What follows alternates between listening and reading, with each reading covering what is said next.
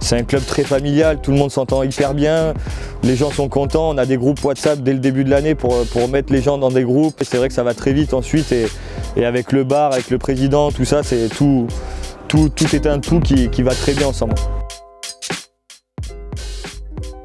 Alors, euh, quand je suis arrivé ici, exactement, il n'y avait, avait que du tennis. Les comptes n'étaient pas terribles, donc il fallait, euh, trouver un investissement pour pouvoir euh, redonner une dynamique au club. On a été aidé par la ville de Toulon euh, tout au début. Et, puis d'un coup, c'est parti, ça a enchaîné, euh, 2, 4, 6, 10. Aujourd'hui, on en a 10, on est fiers de les avoir et d'être positionné réellement en France comme, un des, clubs où, ayant le plus d'adhérents.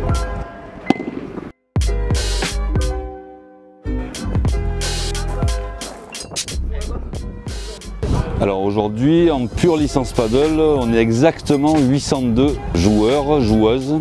On a une soixantaine de jeunes en école pure paddle, ce qui correspond après à 740, euh, 740 euh, adultes. En compétition, oui, il y a plusieurs gros tournois qui se sont passés ici dans le club.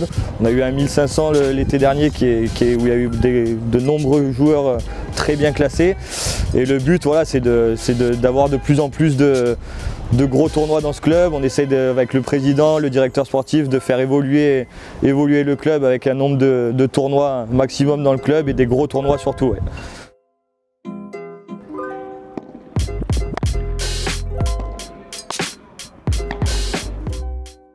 On essaie d'être euh, un peu et toujours ben, déjà le, le précur- précurseur dans la région, c'est-à-dire qu'au niveau du, Var, je pense qu'on a été un des premiers clubs à créer les paddles.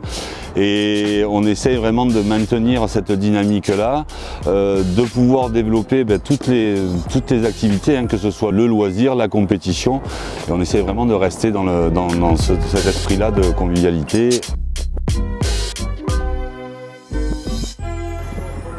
Quand je démarre quelque chose, je veux faire le plus possible. Et aujourd'hui, moi, me contenter de dire euh, j'ai deux paddles, non, je veux être le plus gros, le plus fort, on veut être le plus grand club, on veut, dire aujourd'hui, à Toulon, on est installé en paddle et on veut faire les plus gros tournois, euh, recevoir les championnats, on ne veut pas s'arrêter là.